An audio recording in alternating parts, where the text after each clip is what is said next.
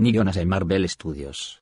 Según la página We Got Discovery, dice que el cantante y actor Nick Jonas podría ser elegido para interpretar a un personaje de Marvel Studios. El artículo indica que según sus fuentes podría ser Havok en una futura película de los X-Men. Este personaje ya lo hemos visto en películas como X-Men Primera Generación y X-Men Apocalipsis con el actor Lucas Steele.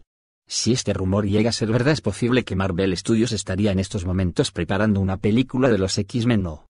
Este personaje podría aparecer en la película de Apple 3. ¿Y tú qué opinas? ¿Te gustaría ver Jonas en el personaje de Havok?